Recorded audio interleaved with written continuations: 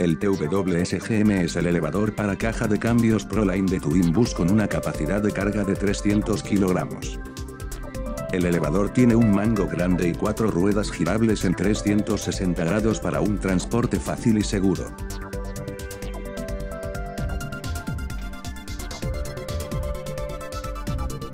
La altura puede ser ajustada con el pedal. El elevador tiene una altura mínima de 113 centímetros y una altura máxima de 198 centímetros. Junto al mango se encuentra un práctico estante. Para descender se puede presionar simplemente el pedal de la válvula de drenaje.